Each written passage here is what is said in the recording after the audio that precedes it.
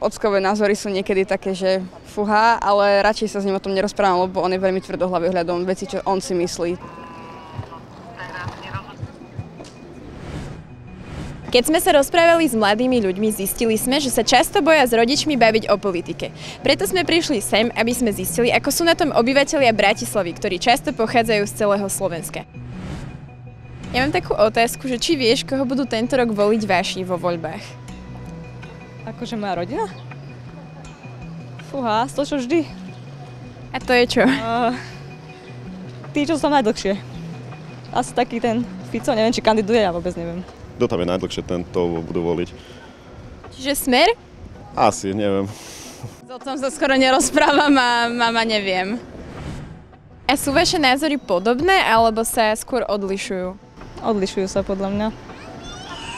Sú to dôchodci, chcú stále to isté a ja by som radšej chcela niečo iné pre to Slovensko.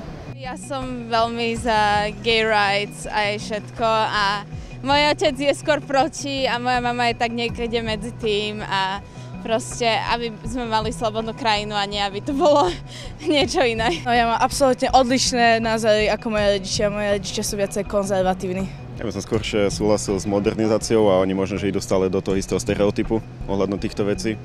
Čiže podľa mňa oni ani moc z toho stereotypu už nevídu niektorí, lebo si myslia, že tí noví sú zlí alebo tak. Nie, akože súhlasíme asi všetci spolu.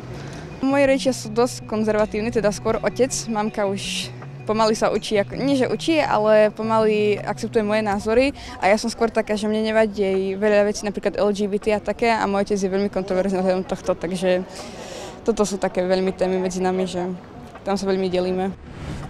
A vieš sa aj tak, že pohádať s rodičmi o týchto veciach, alebo si skôr, že ticho a nech si povedia ten svoj názor a ty si myslíš svoje? Niekedy sa s nimi aj pohádam, hlavne s otcom, lebo ten už na to ide až moc drasticky. Radšej si svoje si obhajím. Radšej si myslím svoje. Nechce robiť peklo doma. Radšej buď som ticho, alebo sa dištancujem od týchto debat. Vieme sa aj pohádať, ale vždycky to ukončíme tak, že sa nebavíme pri rodinných veciach o politike a že bavíme sa o niečom príjemnejšom.